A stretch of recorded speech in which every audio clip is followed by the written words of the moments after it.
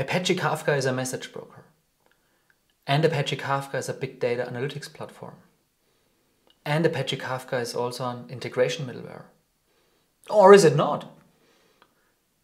This is what I will explore in this video. My name is Kai Waehner and I work in the integration and data streaming space for many, many years. So let's really make sure to understand the concept and the misconceptions behind Apache Kafka as a data streaming platform. First of all, I will explain what Apache Kafka is, because that's important to understand before we will also explore when you should not use Apache Kafka and complement it with other technology. So let's get started with what is Apache Kafka. And I always explain it in four different pillars. Number one, Kafka is messaging.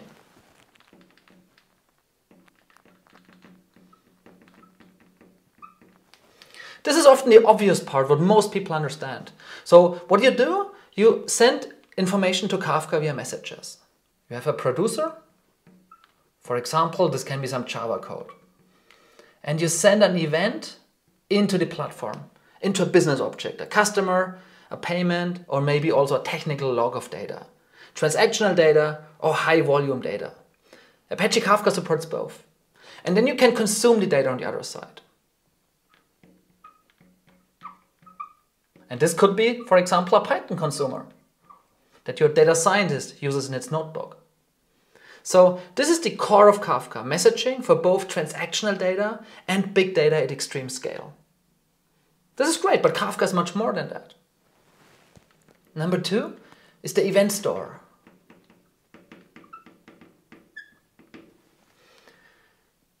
This is really a crucial difference to traditional message brokers, no matter if it's from the IT side like IBM MQ or TIBCO, or from the OT and IoT side like MQTT. With Apache Kafka, you store these events as long as you want to store them, and you can decide per business object. Like for the logs, we might only store them for 12 hours, because after that, we don't care about it anymore. For the customer data, well, maybe we store it much longer, either forever or maybe for a year.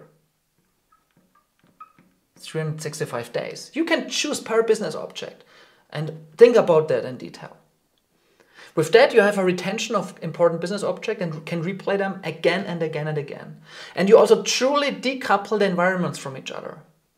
So whenever you need to implement something like a domain-driven architecture or a microservice architecture or a modern data mesh with decoupled environments where you share the data product here with many different organizations or business units, no matter if they're real-time or batch or request response. The fundamentation of that is Apache Kafka at its core with its event store and true decoupling. However, we're still not here yet, so Apache Kafka is more. It's also an integration layer.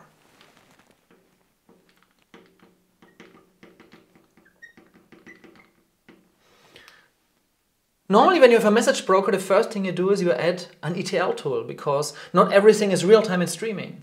And Apache Kafka provides Kafka Connect, and with that you can directly connect to other systems that are not native Kafka consumers or producers.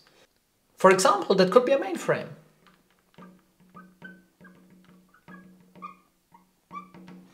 And the mainframe produces data into Kafka with an IBM MQ connector.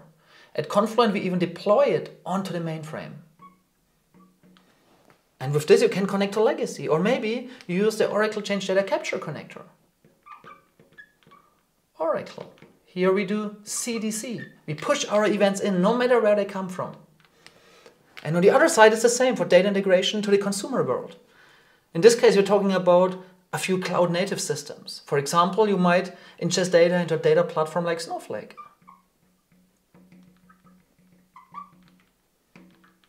Which is perfect for analytics, for reporting, and so on. And on the other side, you might have more transactional workloads that might go into a MongoDB. So the last part, however, and this is often a secret sauce in Apache Kafka, is stream processing.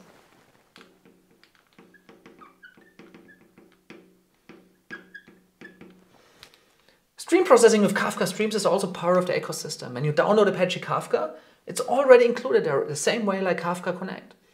And this means you take data from different Kafka topics and correlate it in real time stateless or stateful. So you take data here and from here, and you have some business rules to correlate that. And then you take an action here. This is stream processing. This can combine data from real-time and non-real-time systems and build contextual decisions on top of that. Now we're finally done. And by the way, for stream processing, more and more people also use Apache Flink in combination with Apache Kafka. So instead of Kafka streams, they replace that with Flink, which is more or a more scalable server-side infrastructure. But that's a discussion for another video.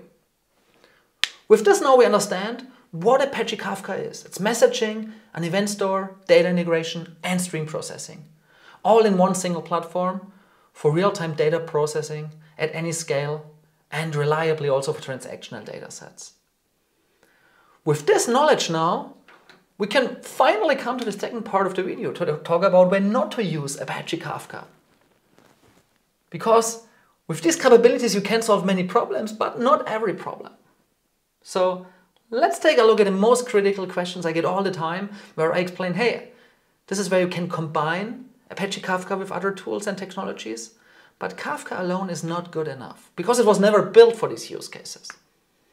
Let's get started with the first one, analytics platform.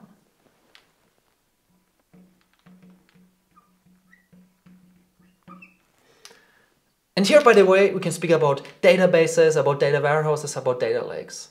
None of them will go away. Kafka complements them. You ingest data into your database, data warehouse or data lake.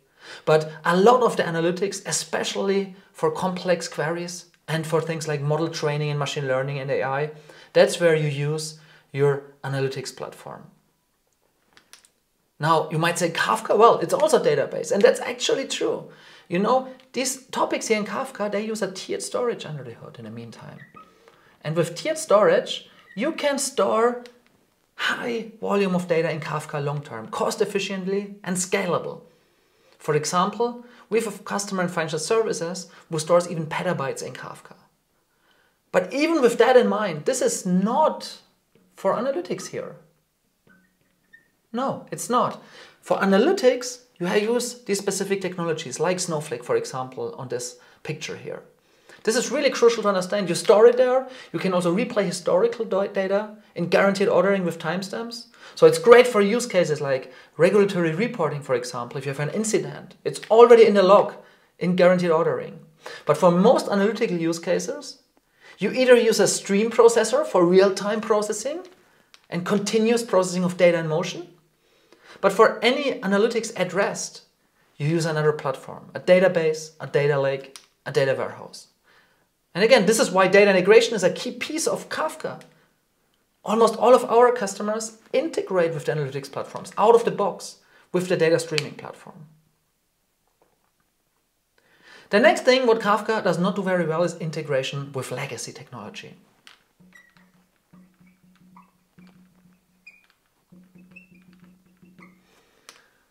What does that mean? Well, that can mean many things. Like here we have seen the mainframe already, right? Um, where it's pretty easy actually to integrate with IBM MQ. But um, if you need to directly integrate with COBOL code, then it's a very different question. Or let's take a look at a few other examples, EDI or EDIFACT, or something like SOAP web services. You remember this kind of strange complex thing before everybody used HTTP. Or maybe there is IoT protocols like BACnet or Siemens S7 or all these kind of proprietary legacy standards from the OT space. Well, to get the data into Kafka, most of our customers do that, but actually they have another middleware here in the middle. So you use what you already have, typically because legacy needed to be integrated for many years and decades already.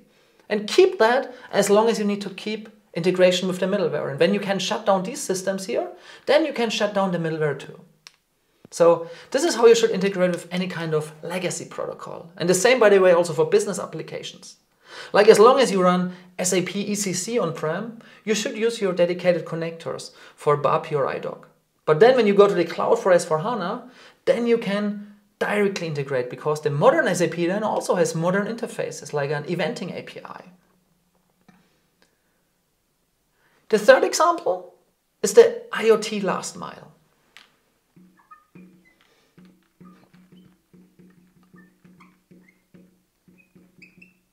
What does that mean?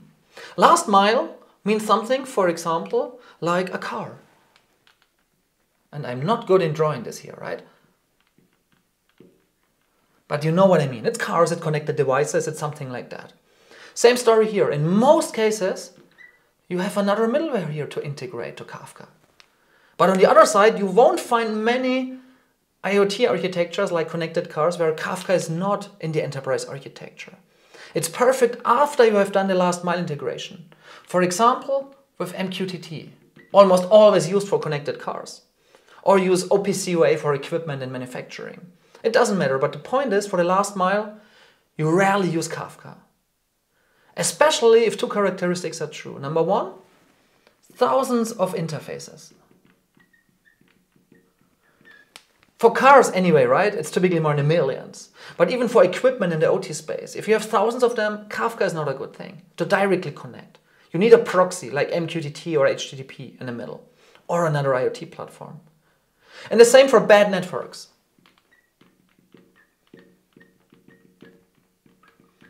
In this case, for bad networks, like on the street in a car, you use another proxy. Having said that, Kafka can deploy at the edge, so this is possible. Like in a factory, in a retail store, or even a single broker in a drone. We do this with many customers, but that's a very different discussion. But in general, basic rule of thumb, for IoT last mile, for thousands of devices or bad networks, you don't use Kafka directly. But on the other side, Almost all of these use cases feed the data into Kafka because then you can use either Kafka or Flink for stream processing to correlate the data continuously in real time at scale. For use cases like condition monitoring, predictive maintenance, location based services, and so on. The next one Kafka is not, it's not an API management solution.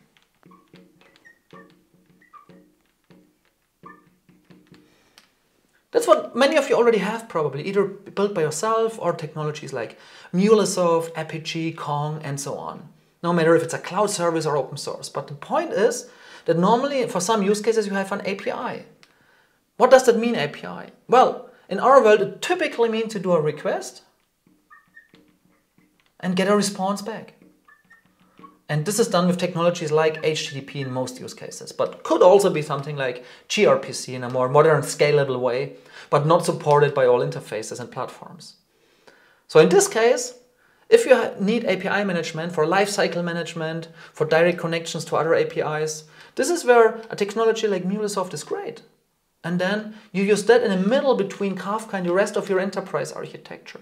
It's still all decoupled, but this kind of last mile to the mobile app, for example, this is in the end where API management can come into play for the integration between the last mile, in this case the mobile app, and Kafka on the other side, and in between the API management, so that you can provide a good management and lifecycle for the API requests and scale this up independently.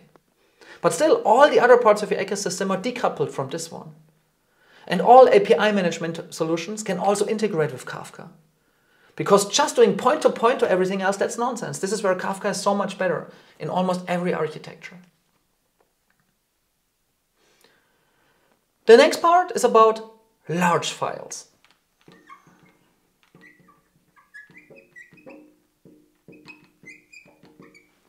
This is a bit a controversial discussion because you can process any kind of file size with Kafka.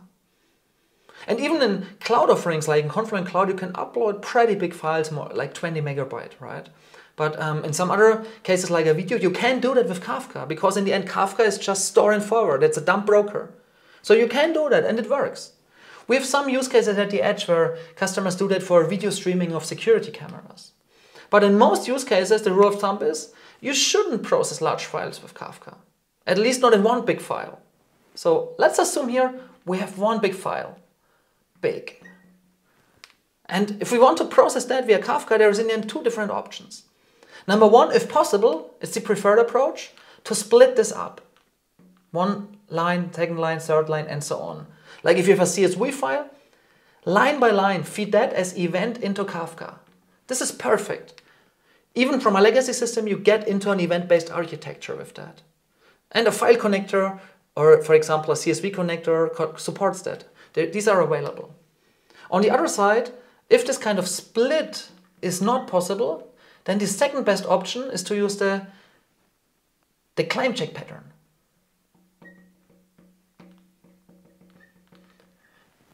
That means that you only store and share the metadata in Kafka. Metadata. And the file itself is stored in a big object store, like in Amazon S3, for example, and you just send the metadata with the link to that file. And this is another great design pattern. We see this being used a lot. For example, the big architectures like Netflix, they do this. For example, of course, they don't stream the video files. They use a content delivery network and a complex architecture. But the metadata is all shared via Kafka between all these different systems. And last but not least, and this is also actually obvious for some people, but not so much for others, is Kafka is not hard real time.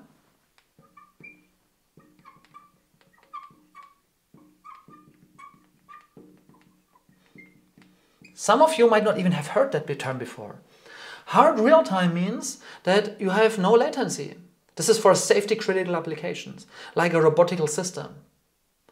This is not Kafka, and this is not the IT world we are in here. So this is Rust, this is C, this is embedded systems. So if you have a robotic system, for example, let's, let's draw one here, right? So we have the robotic system. And this is embedded systems. This is C or Rust under the hood. C or Rust. So this is not Kafka, this is not another competitive technology, and this is not cloud services, right? Because it's really hard real time, it's safety critical, and there cannot be any latency. However, then on the other side, they still need to communicate with the rest of the IT. And this is again where Kafka comes into play, because this is then again where we talk, for example, about OPC UA in the OT space. And therefore, you can complement this technology but it's not for the embedded system. And so we talked about several scenarios what Kafka is not good for. There is always some overlappings, especially for analytics, where you can do a lot of that in real time or in stateful applications with stream processing using Kafka Streams or Apache Flink as part of the data streaming platform. So here you need to always evaluate what's better for your use case and find the right one.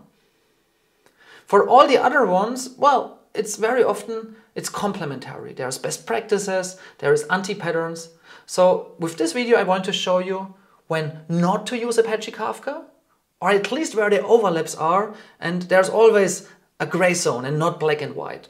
So I hope this was a helpful video, and let me know in the comments about your feedback and your thoughts where you do use Kafka or where you don't use it. Thanks a lot for watching. This is Kai Waehner.